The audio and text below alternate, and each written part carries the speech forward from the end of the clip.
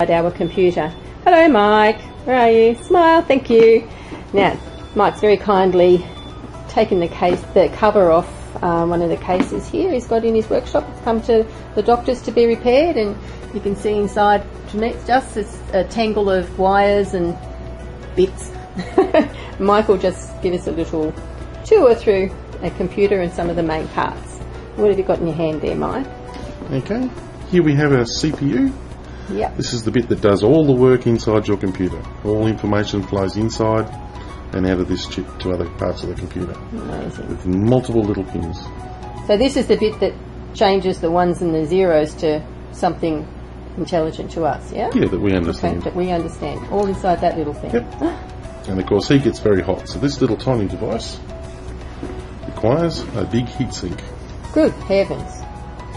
That size for that little critter there, alright? Yep.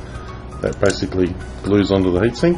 Yes. And the heatsink and the cooling fan is what you see inside the computer system. Ah, so that's it there. Okay.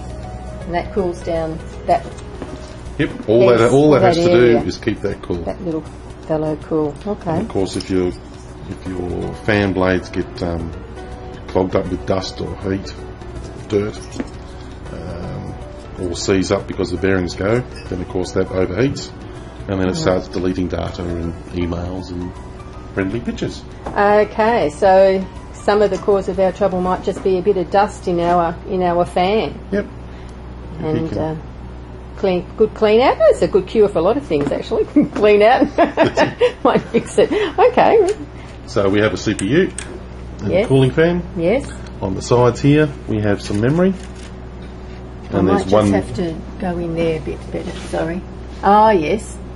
I'll put a little. One little finger. Here we are. Need it bigger. Ah. Right. Ah, perfect. And this computer has the ability to add more memory to it in the extra sockets.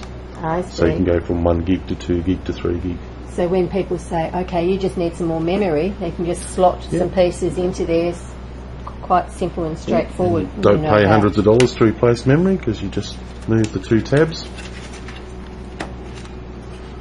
and take the memory out. And that's just and that's how complicated memory replacement is. Wow. And you just upgrade that to bigger size. Gee, and pop a new one in. And yeah, we can put three in this computer. Fantastic. Excellent. And now down the bottom here we have expansion slots.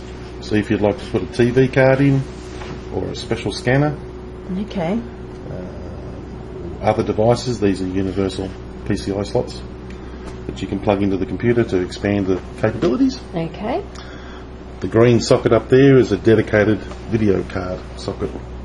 Sorry, so I didn't see that. Where was that? The green socket here.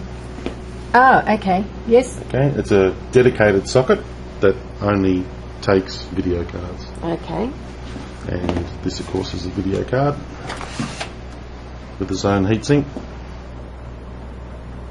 Gee, it's easy when you know what you're looking at, Mike.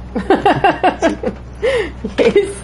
And pretty much the video cable just plugs into that. Oh yes, okay, and it's got its own special socket to the computer. Oh, and that's the other the other side of it where it connects to. Mm-hmm. Yeah.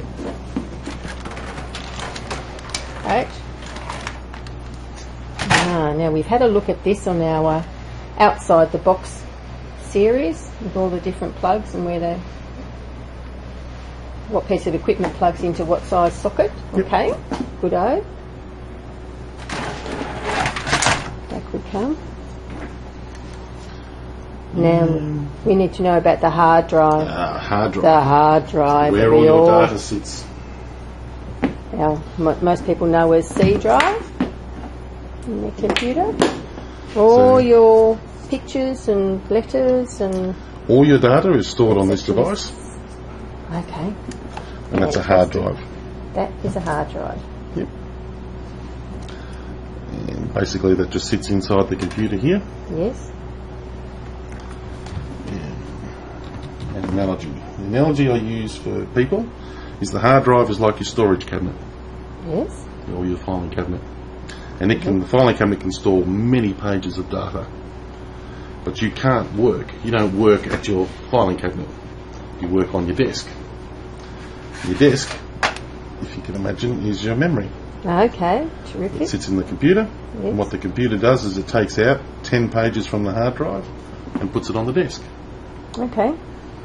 It's in the computer, and you work on those 10 pages. Yes. And if you go to page 11, the computer has to put a page back on the hard drive and get page 11. Okay. To make your computer go faster, you can have a bigger desk. Yes. So instead of a 10 page desk, we can have two modules in there, which is 20 pages Yeah. Okay. or 30 pages. And so it'll take it from the hard drive into the memory, and then you see it come out through the video card onto your monitor. Right. That's a great analogy. So more memory, bigger desk. Yes. And you, there could also be three different desks, couldn't they? Yeah, You'd be doing a different task on each of those desks. That's right. Yeah. If you pull the power out, Yes. it's like opening the door on a windy day. All Ah. the pages of data on your desk get blown out. They don't get put back in the filing cabinet. Ah. Which is how come your computer can crash and you can lose files and things like that. Okay. So this is why we need to save from time to time if we are intending to keep a copy. Yep. Because we change the updated information's on the CPU, on the RAM. And when we go save, it takes a copy of that and rewrites it back on the filing cabinet. And there it stays. So if the door does open, then that doesn't matter because it's all nicely That's protected right. If you inside. lose this stuff, Yeah, but that's fine. It's stored sa- on there. nice and safe in there. Fantastic. That's great. I think that's about the um, the major parts that we Major parts, that we have anything to do with. The fan. You've got a power supply in here. oh yes.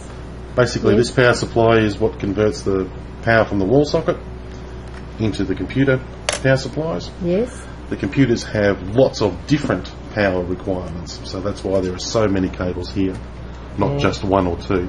Okay. Okay. Pretty much the power that you've got in here is no higher than your car battery. Jeez. So you can put your hand in there, you won't get electrocuted. Oh, You might blow the computer up, but you won't be you won't get zapped. Yep. All the dangerous voltage is inside this steel cage. Right. Okay. That's good to know. Reassuring. Here's one you prepared earlier. Yeah, that's it. and the steel cage contains all the high voltage. It's got a specialised cooling fan, but you can't.